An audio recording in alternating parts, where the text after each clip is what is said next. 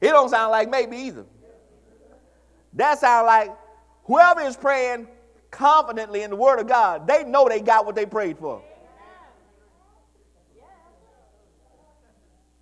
See, and that's why religion, tradition, causes people not to have confidence in God.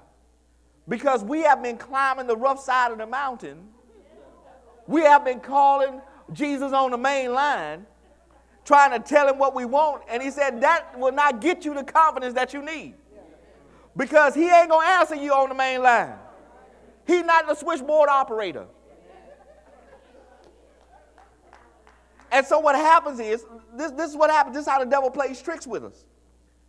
Because we don't get the answer from God that we desired, because we didn't pray correctly, we think that God just didn't want us to have it. Therefore, we don't have confidence in our prayer life because I didn't get what I wanted from God. Well, it's not that God didn't want to answer you, it's that you didn't pray right. You didn't pray right. You, you still, you still, you still praying the, you know, like the Bible says in Matthew, you're just speaking much word, you're praying much words. You know, you don't have to, you don't have to pray all day. Uh oh. I just, I just stepped in that. I just stepped, I just stepped in this thing. See, I could pray in a five minute span and get more things done than others who pray all day long. You know how I can do that? Because I'm going to pray what the word says. I'm going back and tell God, God, this is what you said about my situation. And because I am so confident in your word, I know I got it. So I could get up. I can get up. Look, I, ain't no sense me standing there praying all day. Because I know I already got it. I already got what I prayed for. Because I got confidence. This is the assurance that whatever we ask for. And see, I'm glad God says anything. Because now, if I can find it in the Word of God, then I could ask for it. Because the Bible says in Psalms 37 and verse 4 that God will give us the desires of our heart. Now, now let me qualify anything. I felt that I felt that in the spirit. Say, woo, I will ask us Bobo. and Bobo married to some other woman. No. You get what you ask for when it's in line with the Word of God. Okay? And you get what you pray for when you pray according to the Word of God, not how you want to pray. Amen. And watch this, watch this. You don't have to sing a song before you pray.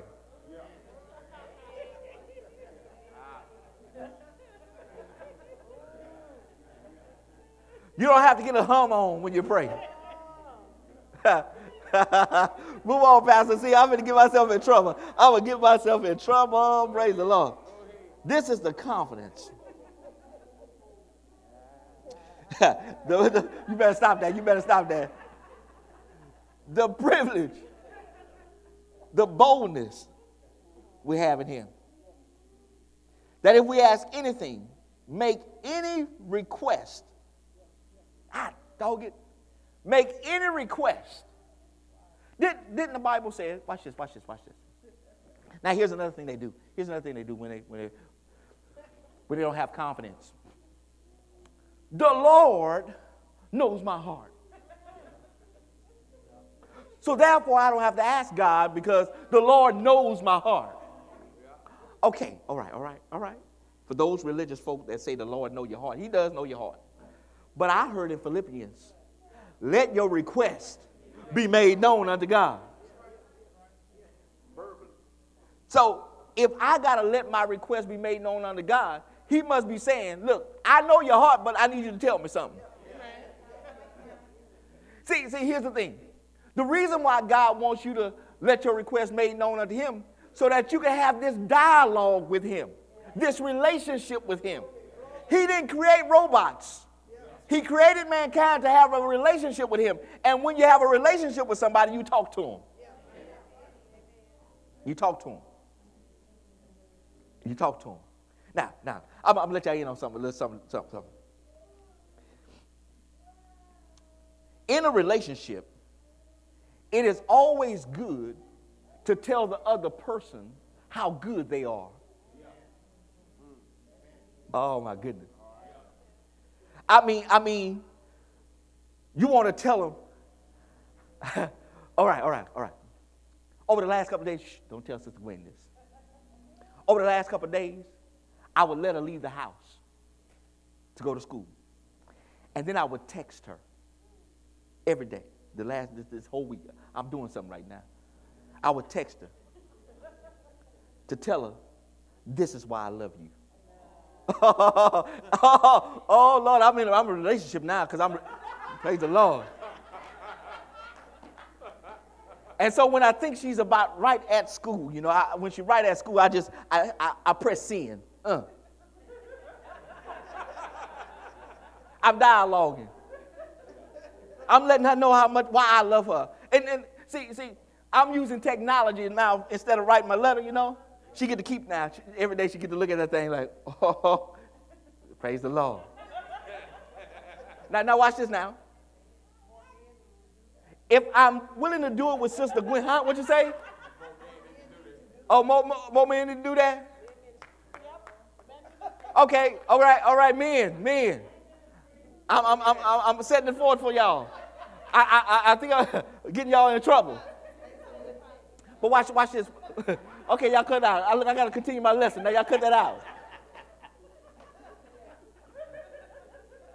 Now, if I would do that for her, and she, you know, uh,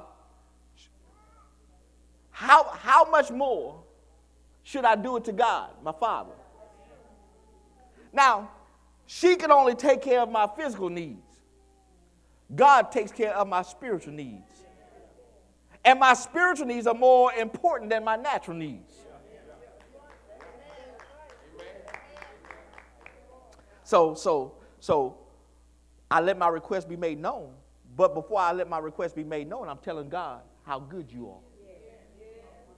See, I'm working on something. I'm working on something. John, I, I, I look, I, I, I, I, look, I ain't asked for nothing. I just want to let you know how much I love. No, hey, hey. Just want to let you know how much I love you. look, and after each one, I say, this is why I love you. move on, move on, Pastor. I got some folks in trouble. Praise the Lord. Woo. Okay. Psalms 27. Now, y'all might get a text tomorrow from y'all husbands. Praise the Lord. Psalms 27. Now, now, now, that, brothers, this word for you. That's a word for you. You know. Don't, don't, don't let the, the fire ever go out. It's the little things. It, it, it didn't cost me nothing to send that text.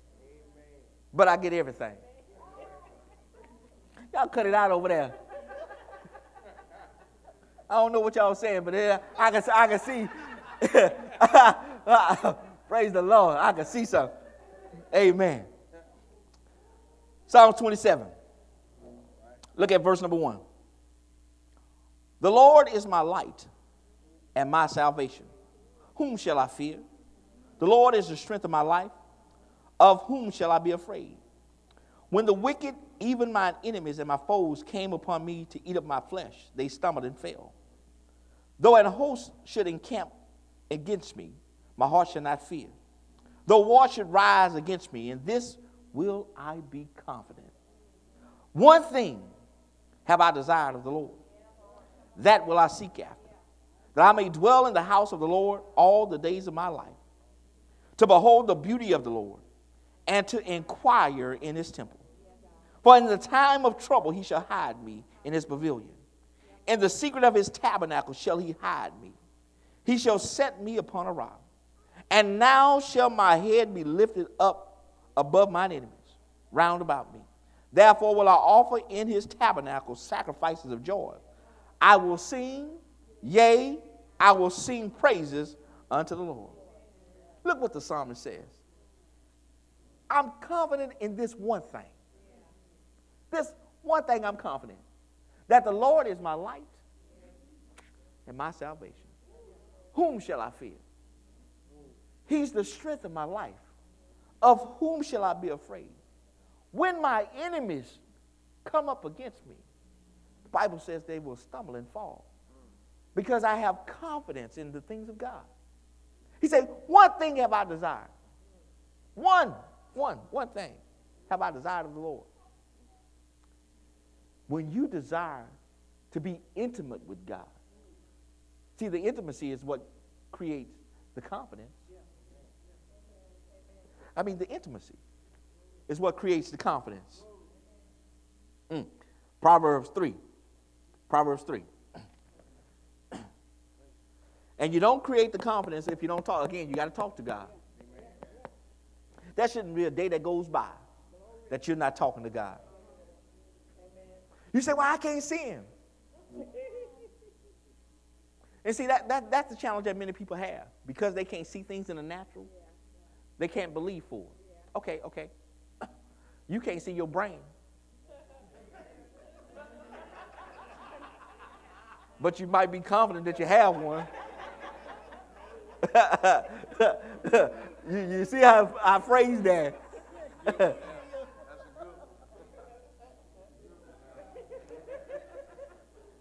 Proverbs chapter 3.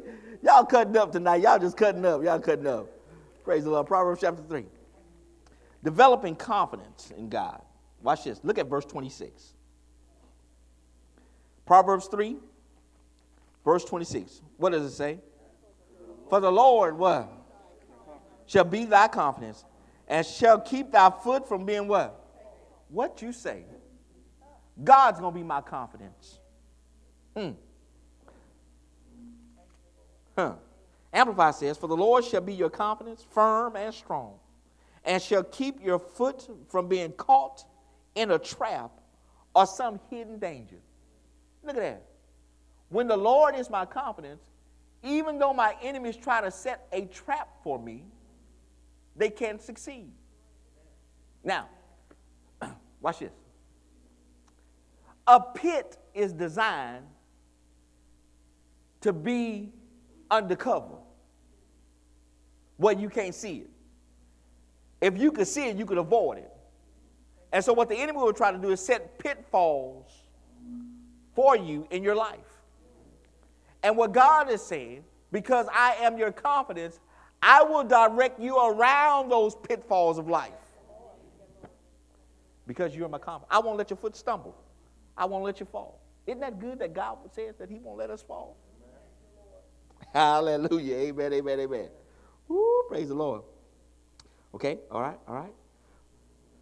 Proverbs 14.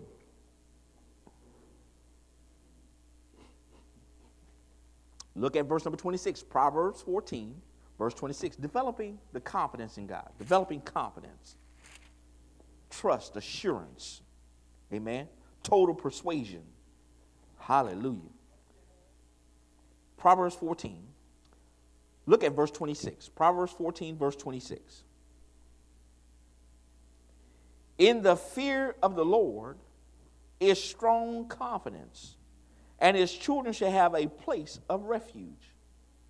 So the Bible says reverential fear of God causes me to have strong confidence. Now, God doesn't want us to be afraid of Him. So He's not talking about that type of fear where I'm afraid of God. I don't want to go to God because He might do me something. No, no, God is not like that. He's a loving God, He's a loving Father.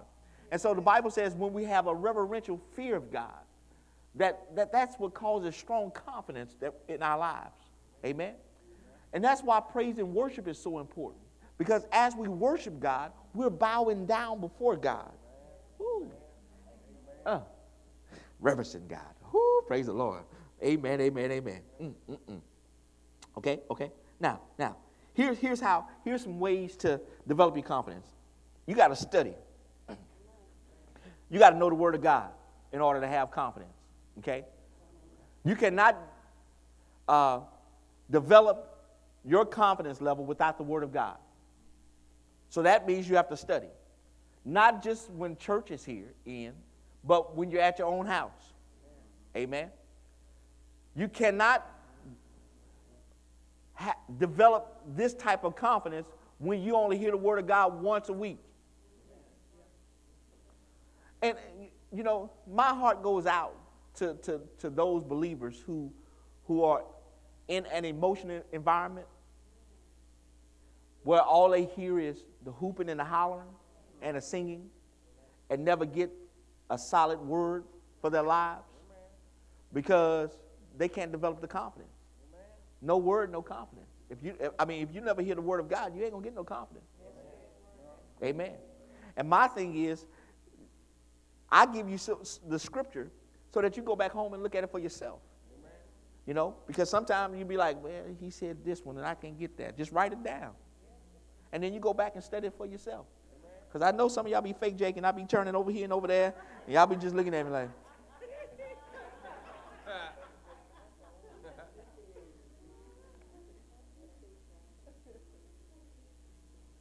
Secondly, I need to make a choice once I study the Word, watch this now, to believe the Word of God.